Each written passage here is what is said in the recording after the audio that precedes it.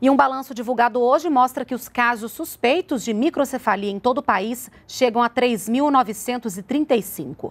Do total de notificados, 508 já tiveram confirmação e 837 foram descartados. Amapá e Amazonas são os únicos estados que não têm nenhum registro de casos da doença.